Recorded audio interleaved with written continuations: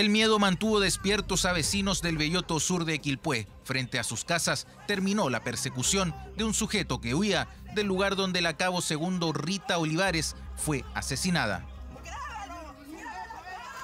Era buscado como uno de los autores del crimen y también por perpetrar el robo a una vivienda. No estaba solo, aunque fue el primero en ser capturado. Logrando divisar a uno de estos sujetos oculto entre unos materiales quien en forma inmediata señaló textualmente, no me maten, yo solo andaba acompañando.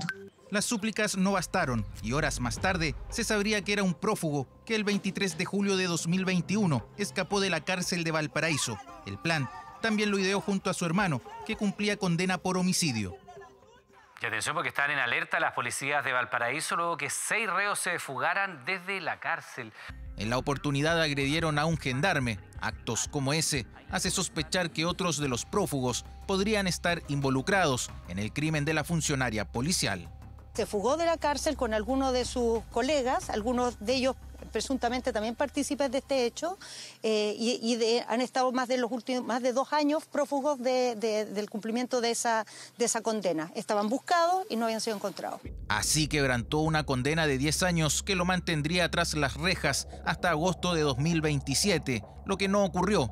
Por eso, para evitar otras situaciones similares, Carabineros se encuentra desplegado en la región de Valparaíso. Nosotros también no vamos a descansar y vamos a hacer lo posible por lograr la ubicación de estos delincuentes.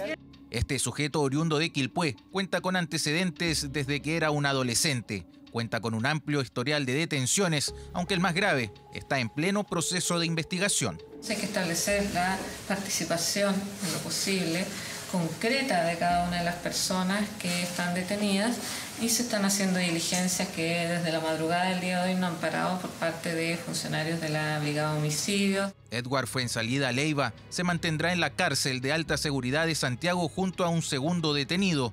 El llamado por el mundo de Lampa, Ojitos de Piscina, volverá a tribunales este miércoles fecha hasta la que fue aplazada su detención para reunir más antecedentes de los delitos que se le imputan, robo con violencia y homicidio a carabinero en acto de servicio.